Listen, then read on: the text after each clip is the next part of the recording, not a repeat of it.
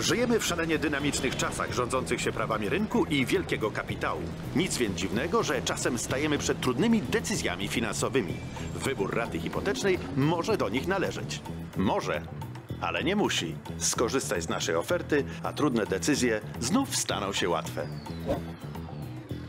Polish Credit Union. To ma sens.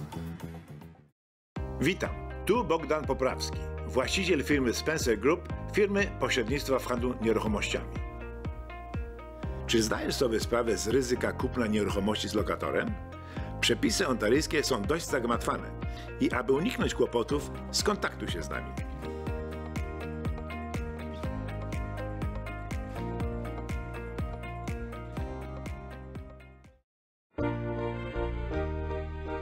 Polska Credit Union oferuje świąteczną pożyczkę ze specjalną ratą tylko 4,5%.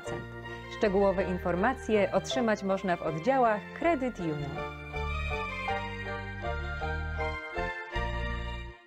The solution to COVID 19 starts with you. Stay home and away from others if feeling ill, even with mild symptoms. Keep two meters apart from anyone outside your household, even if they're family or close friends. Wear a face covering inside public spaces and workplaces. Wash your hands often. Take the online self assessment to learn if you should get tested. Our job to stop the spread is not over. By working together, we will make a difference and keep everyone safe. To learn more, visit ontario.ca slash coronavirus.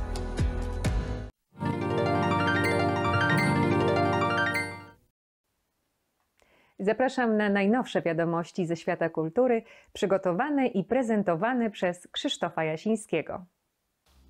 Witam Państwa jak zwykle, niezwykle serdecznie. Kilka dni temu wytwórnia Warner Brothers ogłosiła informację, która może mieć kolosalne znaczenie dla przemysłu filmowego. Otóż wszystkie przyszłoroczne premiery filmowe studia, a jest ich 17, odbędą się jednocześnie w kinach oraz internecie.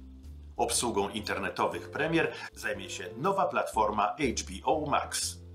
Jak zapewniają obie korporacje, jest to jedynie tymczasowy plan mający pomóc przetrwać kolejne 12 niepewnych miesięcy w czasie globalnej pandemii. Jednocześnie jednak jest to doskonała okazja do nadania rozpędu nowej usłudze, która ma konkurować z już istniejącymi na rynku potentatami tej branży. Sofia Loren powraca na ekran. 86-letnia legenda światowego kina zagra w filmie Jerzego Skolimowskiego.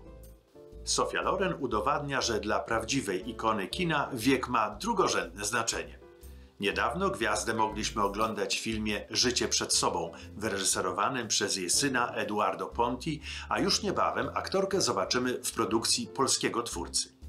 Baltazar to roboczy tytuł najnowszego obrazu Jerzego Skolimowskiego, cenionego w świecie reżysera, scenarzysty, pisarza i aktora, czołowego przedstawiciela polskiego kina nowej fali.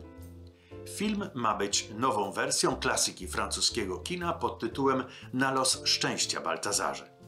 Oryginał został nakręcony przez Roberta Bressona w 1966 roku i jest, jak podkreśla sam Skolimowski, jedynym filmem, na którym się wzruszył. Nagrodzony na festiwalu w Wenecji obraz Bressona został zainspirowany powieścią Fiodora Dostojewskiego Idiota.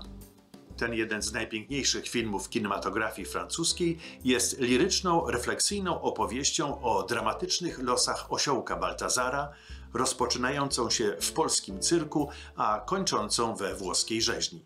Jego życie splata się z życiem Marii, dziewczyny, dla której kiedyś został kupiony. Ona także doświadcza wiele złego, odzierana w miarę upływu lat ze złudzeń i wiary w ludzi. Na razie nie znamy jeszcze daty premiery, wiemy natomiast, że nowa produkcja Jerzego Skolimowskiego uzyskała dotację z Polskiego Instytutu Sztuki Filmowej.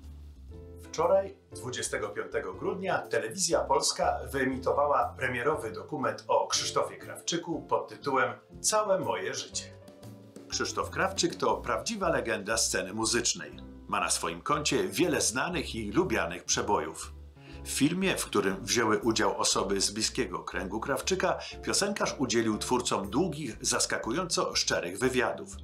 Mocną stroną tego dwugodzinnego dokumentu Michała Bandurskiego i Krystiana Kuczkowskiego są unikatowe nagrania i niepublikowane materiały archiwalne, które chronologicznie przedstawiają życie tego popularnego artysty. Dokument przeplatany jest wielokrotnie wręcz intymnymi wyznaniami piosenkarza.